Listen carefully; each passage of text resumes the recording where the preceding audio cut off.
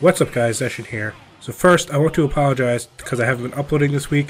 I have been real sick for the past few days, and I apologize. But anyway, so let's get on with this video.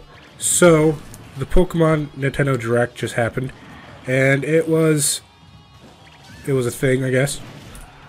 Started with, it, this Direct was announced the other day, and then there's all sorts of rumors that it was only going to be five minutes long. Turns out, it was like six minutes long.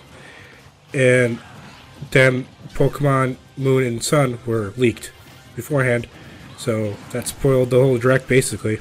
The only other news we got out of this is that Pokemon Blue, Red, and Yellow are going to be released tomorrow, and then you can use Pokemon Bank to trade Pokemon from Blue, Red, and Yellow to Sun and Moon, and that's cool and everything, but I don't think they really needed a direct to announce all this and talk about this.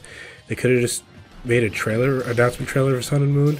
Like, I don't think a direct was necessary at all. Whatever, it, it is what it is. But that's everything that happened direct. Like, it was literally a six minute, well, it was like five minutes and 42 seconds or something like that long.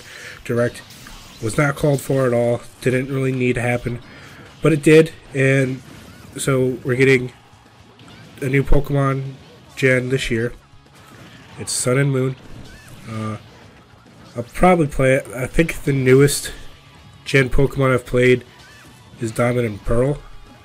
The newest Pokemon I've played is Ru uh, Ruby and Sapphire remake. Oh, what was those called? Omega Ruby and Alpha Sapphire. Those are the newest Pokemon I played. But yeah, so I'm, I'm gonna pick these up. We'll see what happens. But yeah, that's basically everything from that direct. And yeah, so make sure you like, share, and subscribe. And I will see you guys later.